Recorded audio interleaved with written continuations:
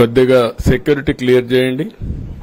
వాళ్ళ కరపరేట్గా you come back otherwise this side this side you can come మీరంతా కూడా ఆ సైడ్ ఈ సైడ్ అడ్జస్ట్ చేసుకోండి.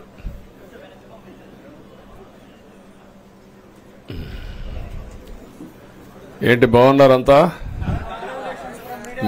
మీకు ఫ్రీడమ్ వచ్చింది ముందు. స్వాతంత్రం మీకు వచ్చింది మాకు కాదు. మీ తర్వాత ప్రజలకి. Okay good. మళ్ళీ ఢిల్లీకి వెళ్తున్నా ఈరోజు. వెళ్ళే మునుపు మీ అందరితో మరీ మాట్లాడకుండా పోతే ప్రజలతో మాట్లాడలేం కదా. మీతో మాట్లాడితే ప్రజలతో మాట్లాడినట్టు. ఎలక్షన్ అవుతాను నేను అంత బిజీగా ఉన్నా కాబట్టి ఒక రెండు నిమిషాలు. మీకు చెప్పి తద్వారా ప్రజలకు చెప్పేద్దామన్న ఉద్దేశంతో ఈ కార్యక్రమానికి శ్రీకారం చుట్టాను.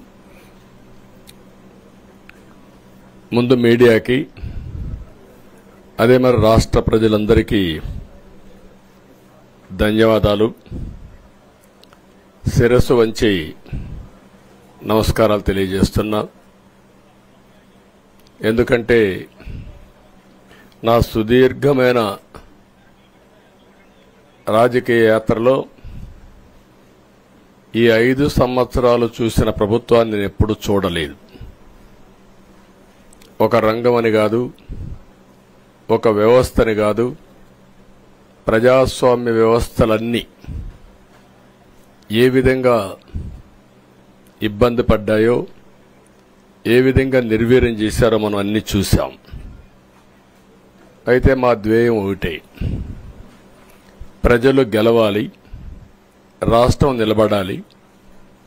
దీనికోసం ఎన్ని త్యాగాలైనా సరే చేసి మళ్ళీ భావి తరాల భవిష్యత్తు కోసం ముందుకు పోవాలని చెప్పి వెళ్ళాం.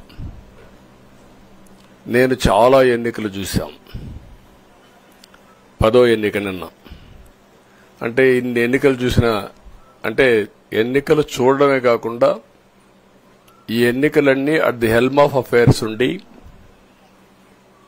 ఎప్పటికప్పుడు సమీక్షలు కానీ ఇవన్నీ నిర్వహించడం కూడా చేశాం. రాజకీయాల్లో ఒడికిదుడుకులు సాధారణంగా ఉంటాయి. ఎవరు శాశ్వతం కాదు. దేశం శాశ్వతం ప్రజాస్వామ్యం శాశ్వతం రాజకీయ పార్టీలు శాశ్వతం అధికారం అశాశ్వతం. రాజకీయ పార్టీలు కూడా సక్రమంగా ఉంటే మళ్ళీ ప్రజలు ఆదరిస్తారు. లేకపోతే రాజకీయ పార్టీలు కూడా చాలా పార్టీలు కనుమరుగైపోయినాయి. వ్యక్తులు కనుమరుగైపోయారు రాజకీయ పార్టీలు కనుమరుగైపోతాయి.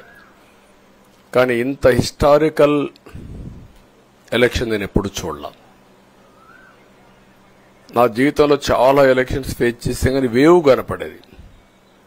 వ్యతిరేకత కనపడేది. కానీ ఈ ఎలక్షన్లో ఎక్కడో అమెరికాలో ఉండే వ్యక్తి ఒక ఐదు లక్షలు పది లక్షలు ఖర్చు పెట్టుకొని నేను రావాలి ఓటేయాలి రాష్ట్రం నిలబడాలి ప్రజలు గెలవాలి అనే ఆవేదనతో వచ్చారు. ఎక్కడో పక్క రాష్ట్రాల్లో ఎక్కడో కడుపు కోస కడుపు నిండడం కోసం కూలి పనులకైనటువంటి వ్యక్తులు పాచి పనులు చేసుకునే వ్యక్తులు సొంత డబ్బులు పెట్టుకొని నేరుగా ఇక్కడ రైల్వే స్టేషన్లో చూస్తే బస్ స్టాండ్లో చూస్తే భోజనం కూడా ప్యాక్ చేసుకొని తీసుకొచ్చి ఇక్కడ భోంచేసి ఓటేసే పరిస్థితికి వచ్చారు. ఈ కమిట్మెంట్ని ఏ విధంగా వర్ణించాలో నాకైతే అర్థం కాదు. ఏ విధంగా వాళ్ళని అభినందించాలో కూడా అర్థం కాని పరిస్థితి. అనేక ఎన్నికల్లో అనేక అనుభూతులు చూశాం కానీ మేము అన్ని ఎన్నికల కంటే ఇది ఒక తెలుగుదేశం పార్టీ చరిత్రలో ఆంధ్రప్రదేశ్ రాష్ట్ర ప్రజల చరిత్రలో సువర్ణాక్షరాలతో లిఖించదగ్గ ఎన్నిక ఇది. ఒక హిస్టారికల్ ఎన్నిక. ఆగస్టు క్రైసిస్ తర్వాత ఎన్టీ రామారావు గారు పార్టీ పెట్టిన తర్వాత ఎనభై మూడులో మేము గెలిచాం. అప్పుడు రెండు వందల సీట్లు వచ్చాయి. కొత్తగా పార్టీ పెడతానే ఎన్నికలకు వెళ్ళి తొమ్మిది నెలలు అధికారంలోకి వస్తే రెండు వందల సీట్లు వచ్చాయి. తొంభై నాలుగులో మీరు ఒక్కసారి చూస్తే ప్రజా వ్యతిరేకం వల్ల ముగ్గురు ముఖ్యమంత్రులు మారడం వల్ల ఆ రోజు మీరు ఎన్నికలు చూస్తే దగ్గర దగ్గర అపోజిషన్ పార్టీకి రిక్వైర్డ్ నెంబర్ అంటే అపోజిషన్ లీడర్గా వచ్చే స్టేటస్ రాకుండా వచ్చాయి. అవన్నిటిని వర్పించే విధంగా ఈసారి ఊహించని విధంగా వచ్చింది. అంటే దానికి కారణాలు నేను ఎక్కువ చెప్పక్కర్లేదు. అనుభవించిన ప్రజలకి అర్థమవుతుంది. ఎప్పుడైనా సరే ప్రజాస్వామ్యంలో ప్రాథమిక హక్కు మాట్లాడే స్వేచ్ఛ. ఆ స్వేచ్ఛనే కోల్పోవలసి వచ్చింది. ఒక స్వే- అదే కాదు. బ్రతికే స్వేచ్ఛ. ఆస్తులు పెట్టుకునే స్వేచ్ఛ. ఇవన్నీ కోల్పోయే పరిస్థితి వచ్చింది. అందుకే మీరు చూస్తే మొన్న ఎలక్షన్లో సరే ఏ విధంగా మేమందరం కలిసాం అవన్నీ మాకంటే ముందు మీకే తెలుసు. కలిసినప్పుడు ఎవ్రీ ఈవెంట్ ఇవి వేదిక నుంచే ప్రారంభించాం. అక్కడి నుంచి ముందుకెళ్ళాం. ఆ రోజు చెప్పాం ఈ రోజు ఒకటి చెప్తున్నాం. మా ఆలోచన ప్రజలు గెలవాలి రాష్ట్రం నిలబడాలి అంతవరకు సాధించగలిగాం. యాభై ఐదు పాయింట్ మూడు ఎనిమిది పర్సెంట్ ఓట్లు పడ్డాయి. దీంట్లో తెలుగుదేశానికి నలభై ఐదు పాయింట్ ఆరు సున్నా పర్సెంట్ పడ్డాయి. వైసీపీకి ముప్పై తొమ్మిది పాయింట్ మూడు ఏడు శాతం పడ్డాయి. ఇది ఊహించినటువంటి ఒక్కొక్కసారి తొంభై ఐదు వేలు మెజారిటీ. ఒకప్పుడు నేను చార్మినార్ ఎగ్జాంపుల్ చెప్పేవాడిని చార్మినార్ అంటే అక్కడ ఎంఐఎం కంచుకోట. అక్కడ ఎప్పుడు ఎక్కువ ఓట్లు వచ్చేటివి. ఆ తర్వాత కుప్పం సిద్దిపేట పోటీ పడేటి. రెండో స్థానానికి. అప్పుడు కూడా డెబ్బై వేలు ఎనభై వేలు యాభై వేలు కాడ ఆగిపోయేవాళ్ళం. ఈసారి తొంభై ఐదు వేలు. తొంభై నాలుగు వేలు మళ్ళా. తొంభై రెండు వేలు తొంభై ఒక్క వేలు. మంగళగిరి లాంటి కాన్స్టిట్యున్సీలు తొంభై ఒక్క వేలు మెజారిటీ. ఏ విధంగా అభివర్ణించాలో నాకైతే అర్థం కాదనమాట. అంత ఇదెళ్ళిపోయినాయి ఇవన్నీ చూసిన తర్వాత ప్రజలు ఇచ్చిన తీర్పు మీరు చూస్తే అహంకారం నియంతృత్వం విచ్చలవిడితనం ఏదంటే అది చేస్తాననుకుంటే ప్రజలు క్షమించే పరిస్థితులు లేరు. అదే ఈరోజు నిరూపించే పరిస్థితికి వచ్చారు. ఒక మాటలో చెప్పాలంటే ఈసారి వీళ్ళు చేసింది గుణపాఠం పాలకులకు కాదు. అవినీతి అహంకారంతో ముందుకు పోయే ఎలాంటి ధ్వంసకారులకైనా ఇదే జరుగుతుందని నిరూపించారు ప్రజలు. దానికి మనస్ఫూర్తిగా అభినందిస్తున్నాం.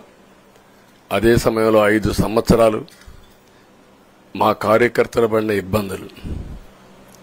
చాలామంది స్లీప్లెస్ నైట్స్ కంటి నిండా నిద్రపోని పరిస్థితి.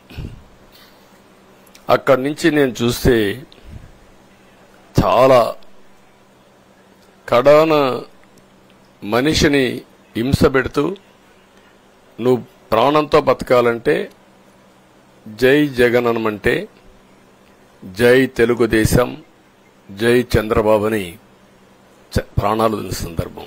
చంద్రయ్య. ఇది తలుచుకుంటే ఆ కమిట్మెంట్. ఆ కమిట్మెంటే ఆ త్యాగాల ఫలితమే ఈరోజు ప్రజాస్వామ్యాన్ని కాపాడుకోగలిగాం. ఒక మా కార్యకర్తలకే కాదు మీడియా ఐదేళ్ళు మీరు పడిన ఇబ్బందులు మీరు కోర్టుల చుట్టూరు తిరిగిన ఇది మిమ్మల్ని సిబిసిఐడి ఆఫీసులో పెట్టి వేధించిన విధానం అవి తలుచుకుంటే ప్రజాస్వామ్యమే సిగ్గుతో తలంచుకోవాలి. అలాంటి సంఘటనలు జరిగాయి. మేనేజ్మెంట్ని ఒకరినని కాదు ఎవరినైనా పట్టుకురావచ్చు ఏదైనా చేయొచ్చు అనే ధీమా వచ్చేసి ఇష్టానుసారంగా ప్రవర్తించే పరిస్థితికి వచ్చారు. అదే సమయంలో ప్రజల మీద మా పార్టీ మీద సరే ఈవెన్ జనసేన పవన్ కళ్యాణ్ ఆయన కూడా స్వేచ్ఛ లేదు. ఎక్కడైనా సరే విశాఖపట్నానికి వెళితే ఉన్న పడంగా విశాఖపట్నం నుంచి వెకేట్ చేయాలని తిరిగి అంటే నగర బహిష్కరణ. ఒక నాయకుడిని